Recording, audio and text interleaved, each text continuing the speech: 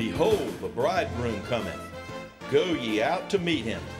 Now is the time to trim your lamps and get ready for the coming of the Lord. Stay tuned for the Midnight Cry broadcast.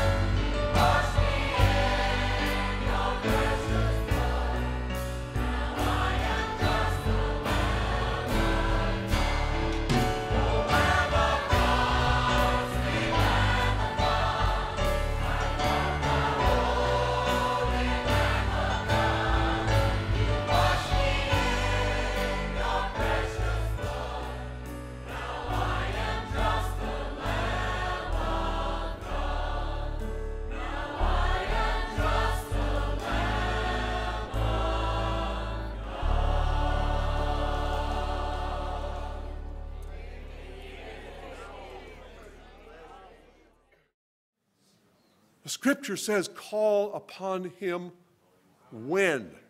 While he is near. There are people who turned their, eye, turned their ears away when he was near. Later on, they got concerned. He didn't come near again. You don't know. This is that serious.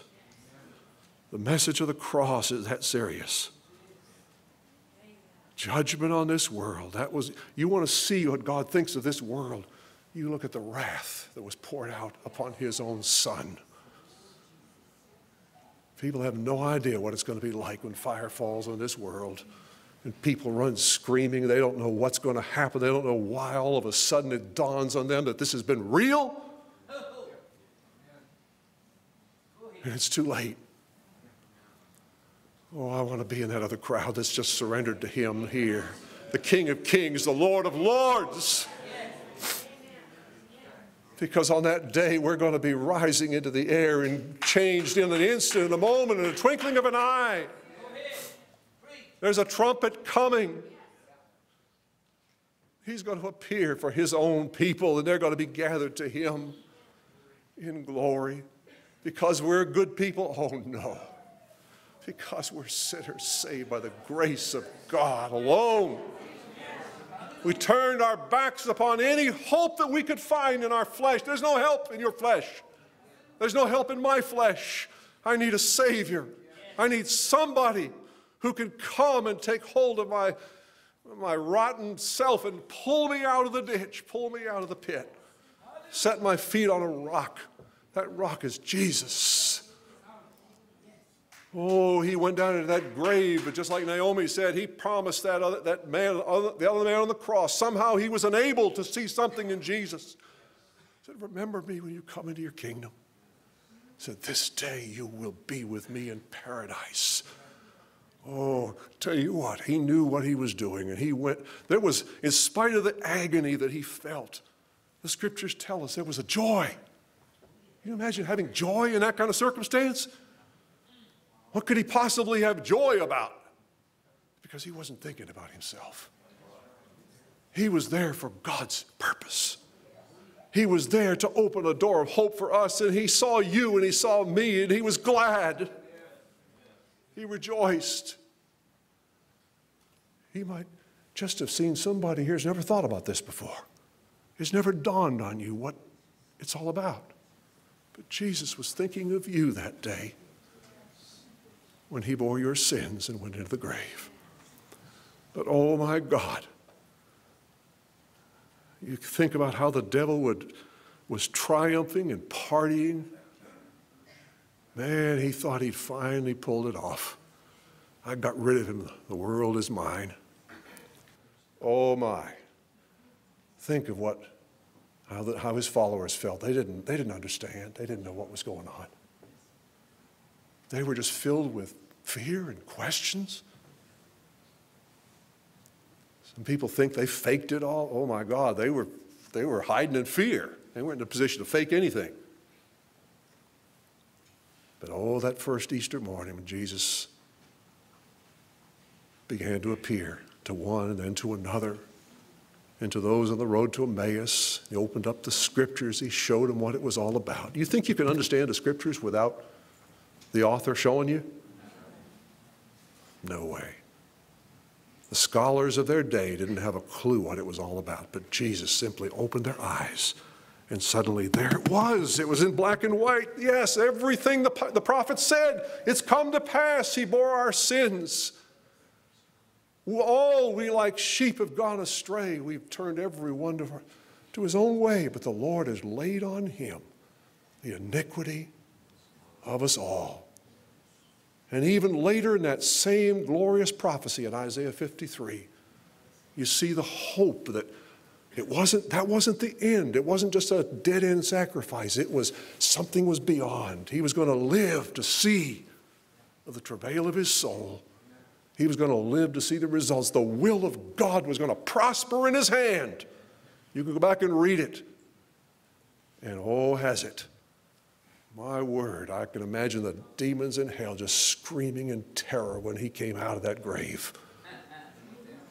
He didn't need anybody to roll that stone away, he just disappeared. He wasn't subject to the laws of nature, of this nature anymore. He had a power way beyond this.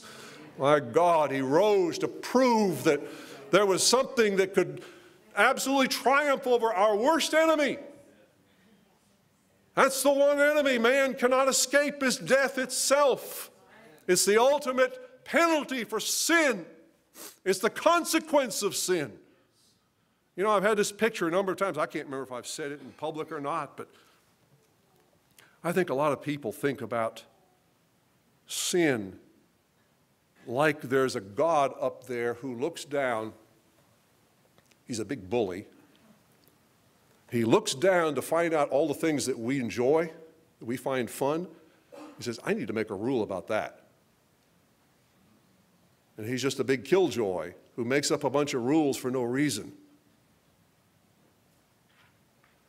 Let me give you an illustration in the physical world as to what I believe is true in the moral world. There's a law in the physical realm called the law of gravity. You think that's just an arbitrary rule? Or is that the way things work? That's the way things work. So if there is a rule that says, thou shalt not jump off the Empire State Building, is that just a killjoy, purposeless rule? No, it's to stop somebody from violating a law that, that vi- the violation of it will destroy them. It's the same with God's moral law. It is a reflection of His being. It is the way the universe works. You violate his nature that is one of love and peace and joy and, and occupying with the welfare of others, occupied with the welfare of others. You depart from that and you depart into a, a hell of addiction to, a, to forces that will drive you lower and lower and ultimately destroy you. That's why God is against sin. He knows the end. It may seem like fun for a while, but there is an end and it's coming and it's sure, and God loves you enough to say so. Turn away from your own way. Why will you die? Is his message to man. Look what I have done for you, and look at the Savior I have provided. Is he not able? Has he not proven his ability to do what the Father gave him to do? He who triumphed over, over sin, never let it infect him, never let it cause him to, be, to have his own guilt. He triumphed over in his life. He laid his life down. He put away your sins so that God can be free to forgive you as if your sin never happened. Oh my, you talk about the blood. That's, that's something that can wash any, anything away. Oh, the power. That's more power than anything in this, any cleanser this world ever thought about. You think about what he has accomplished for us, who we honor today, and his name we lift up as the Savior of the world. But oh, he didn't stop there. Do you know, I've, I've said, I made this point from Romans chapter 5 a number of times. You know that we're not saved by Jesus' death? Our sins are blotted out because of his death. We are saved by his life.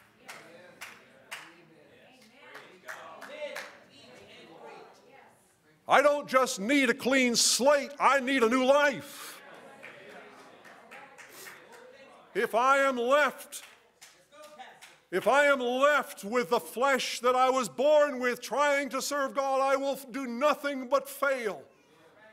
I need a brand new life, and only a miracle from God can make that happen. And I've got to surrender every effort and every pretense of being right before God. I've got to say, Oh God, I am helpless. I need a Savior. Please take my heart and my life.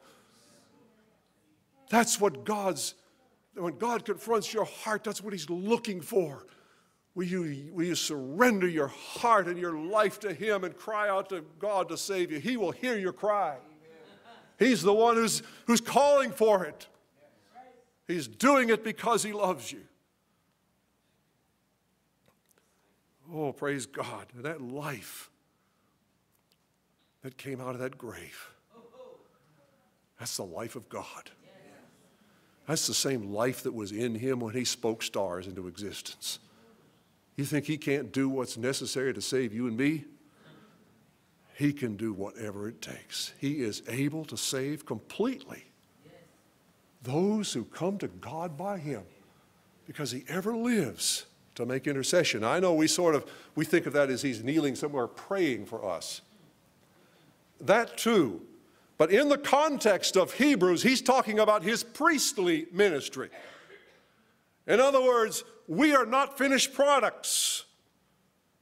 In our life down here, we are imperfect. We fall short, but we've always got somebody who can go to God and say, There's the answer. I am in a position to intercede for this one who has come short and has failed, but they have put their trust in me. There is the blood. I have offered that blood the, in a sanctuary of heaven itself, and you accepted that. I'm here to plead their case. Didn't John say, if any man sin, we have an advocate, a lawyer? You got the best lawyer in the universe pleading your case in heaven. If you've ever turned your life over to Jesus, you've got the best lawyer in the universe. Oh, do you have him today? Do you know him? Oh, my. Think about who this is. Just amazed the disciples when they began to interact and realize hey, this is really so. I mean, you see the state of their, their, their perplexity and, and unbelief because here's Thomas, he wasn't there that day. And in spite of all the multiple testimony, he says, I won't believe it. I don't believe it. Doubting Thomas. If I can't put my finger into it, touch the nail prints in his hands and thrust my hand into his side, I won't believe it. Jesus shows up a few days later and says, Thomas, stick your hand in my, you know, calls him on it. Well, Thomas uh, doesn't record that he did that. He just said, My Lord and my God. I guess you and I would have said the same thing. He was convinced. Oh, you think about his brother James. James knew him all his life, watched him die, still in unbelief.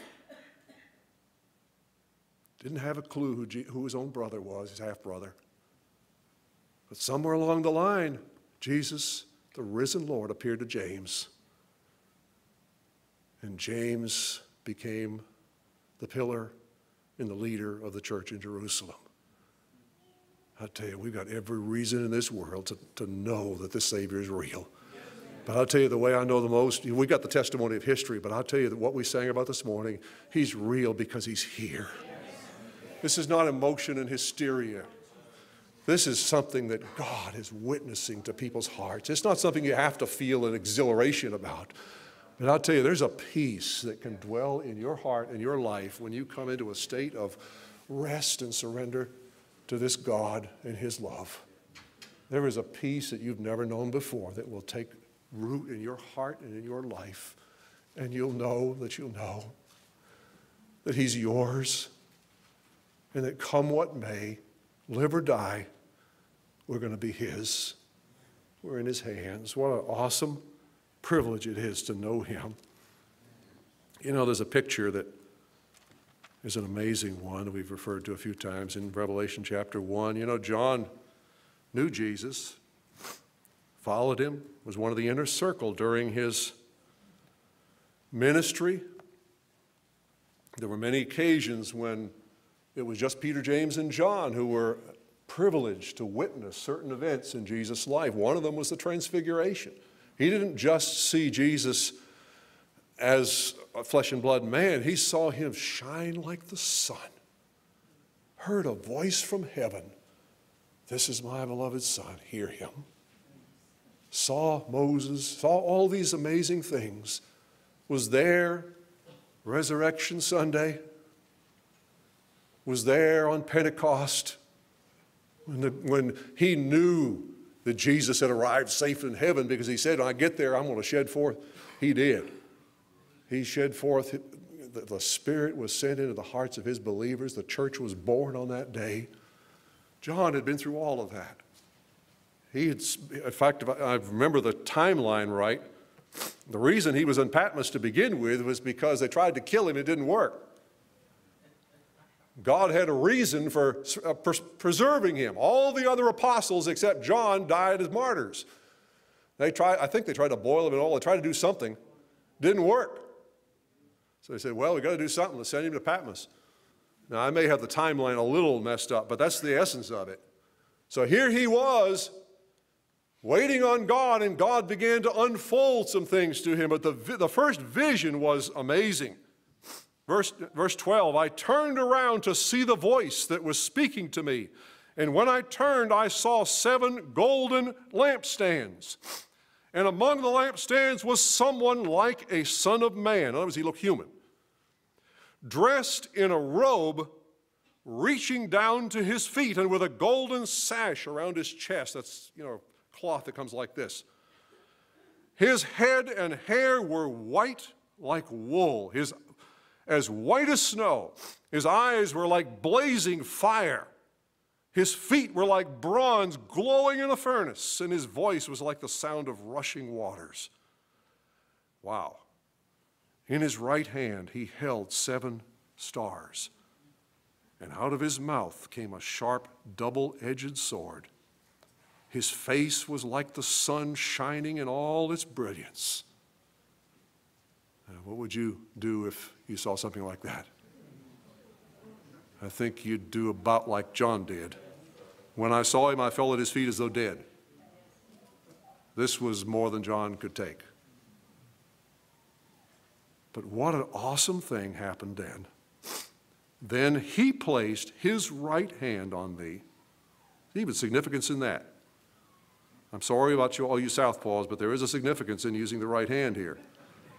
Then he placed his right hand on me and said, Do not be afraid. Does that not tell you something about God? Don't be afraid. All the things that would cause us to tremble with fear before this awesome God. And here he's saying, Don't be afraid. It's not what I want. I, don't, I want you to respect me. I want you to understand who I am, but I'm not here to intimidate you. I, want, you, I don't want you to be afraid. Wow. I can serve somebody like that. I am the first and the last. Think about that. Before anything else was, I was there. Nothing is going to come after me. As nobody's going to be able to stand on the field of battle one day and say, Well, that's the rest, we're done with him. I'm in charge now. No, no. No enemy's going to triumph over this one. I am the living one. I am the living one. I was dead. And behold, look, see, I am alive forevermore, ever and ever. And I hold the keys of death and Hades. I'll tell you, when Jesus got out, came out of the grave, he didn't escape from some overpowering tyrant, just escape by the skin of his teeth. He walked out of there and he carried the keys with him. He walked out the main gate and took and ripped it off. Folks, this is somebody who has the power over your worst enemy, death. If he holds that key, there is nothing that can harm him. Isn't that what he says in Romans 8? What shall separate me from the love of God? Tribulation, all the list of things. Nothing in heaven and earth can possibly do it because he holds the keys. And I'll tell you, he's stretching forth keys right now. There's lives here. You're, you're caught by the power of sin of your own life. You don't realize it. You don't see the end of the road. You think you're, you're so wrapped up in the moment, you don't get it. But God wants to rattle your cage and wake you up and say, I have the keys. I don't want you to die. That's the reason I'm waiting. I don't want you to die. I want you to give your heart to Jesus Christ. I want you to give, to give me your life and let me rescue you because I have a life that won't die. No devil in hell can destroy what I put in you. You can try to serve me all you want and substitute your efforts for mine, and you will fail utterly. You're going to need a miracle from me, but I am willing and able to do what it takes to give you that life. I've got the keys of death and hell. And here we are. Jesus is reigning on high. I'm not, going to, try to go there. You know the scripture in 1 Corinthians 15 if you want to read it. But he has been given that place in heaven. Everything's been put under his feet. Everything. That, that was his reward for what he did. Everything is under his feet. He has the authority. But we are in the middle of a process in which he is waging war against every enemy. He's calling people into his kingdom, he's getting them ready but it says, when he has brought everything into subjection to him, and he's going to destroy the last enemy. What's the last enemy? Death. Death. When's that destroyed? When he comes. That's when the saying will go forth Death is swallowed up in victory. Oh, what a glorious mystery it is that we won't, we know not everybody's going to die. There's going to be a few people that'll be here that'll be, that will rise to meet him when he comes. But if you and I happen to be among those who wind, they put our, they stick our bodies in the ground, nothing to that. I tell you, to die is to go to be with the Lord and then to be united on that day. You know, I have a lot of people ask me a question. I guess they're thinking about the logistics of all this. Where are they? Are they in the grave, going to be raised from the dead, or are they coming with him from heaven? Well, I haven't got it all figured out. I think their bodies are there. Their, you know, their earthly bodies are there and their spirits are with the Lord. I think he can bring the two together however he wants to do it. I'll guarantee you one thing when he does it, it'll be right. The end result, will, we will have a brand new body. It won't just be spirits in a, in a heavenly place. We will be fit to live in a brand new creation that is physical. We'll have the same kind of body that Jesus had when he came out of the tomb. That's what the promise of God. Look, we read that last week in Philippians chapter 3. But oh, what a glorious promise to those who know him. And what a call to those who need him. Oh, my. If there's somebody that needs him, you need to call his, upon his name this morning. Not in the strength of emotion, not in the strength of words that I speak, but the words that God speaks to your heart. You can, you can reach out to him with all of your heart right where you're sitting. Doesn't have to be a special method or a ceremony or anything, but if you will, if you will simply from your heart say, Yes, Lord. Yes, Lord. I surrender. I put my faith in you. God will save you. It's not a method, it's an encounter with the living God who is on your trail because he loves you and wants to turn you from the way that leads to death. That's the whole thing. That's what this day is about. That's what our Savior is about. He who was our creator became our Savior, became, has become our Lord and our elder brother who, with whom we will live for an eternity, worshiping our Heavenly Father. All of this that's wrong with this world will be done away. Don't perish with it. If you choose your own way, you will. But God loves you. And if you're one in that category, hear his voice and say yes. You will never, ever regret it. Your eyes will be opened. No one can see the kingdom of God unless they've been born again. That's what it takes. When God takes the veil from your eyes and you see, you will look back and you say, How could I have been such a fool? How did I miss it? How did I not see? That's the state this world is in. They do not see. They have been blinded, rendered blind by the enemy of their souls. But I'll tell you, we have somebody who can open eyes. We have someone who has the power against everything that's wrong with your life. He's the only one that can rescue you. Call upon his name. Everyone who calls upon the name of the Lord will be saved. Praise God.